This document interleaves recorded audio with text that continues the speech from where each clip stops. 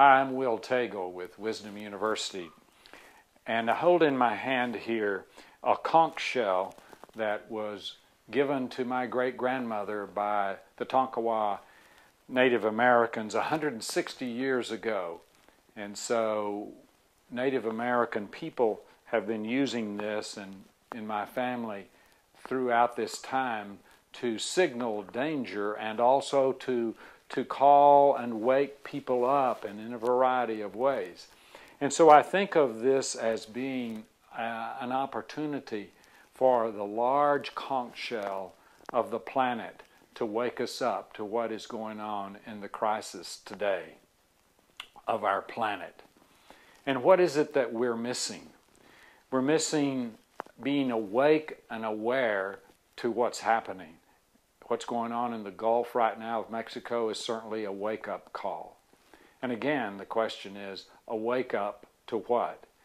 In my new book, Wild Heart, I'm not only calling for us to wake up, I'm pointing us in the direction of the possibility of connecting with nature in a new way. When we left the, the period of time that the indigenous people were living we left behind something that we desperately need. We, some of the, the advances that we have made, of course, are uh, uh, of enormous importance, but what we left behind is even more important, and that is our ability to be intimately connected with the depths of nature. This is what our foreparents had in their indigenous mind, in their primordial mind.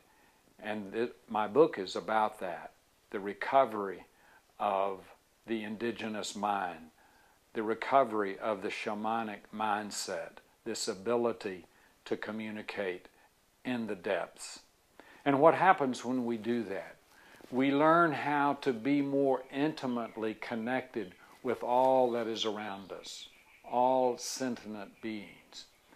Now, I have a question, and that is why is it that so many of uh, cultural creatives are interested theoretically in sustainability, but when it comes time for us to actually practice sustainability and resilience, we seem to stumble? Well, I think my answer to that is that we do not connect deeply and personally with nature.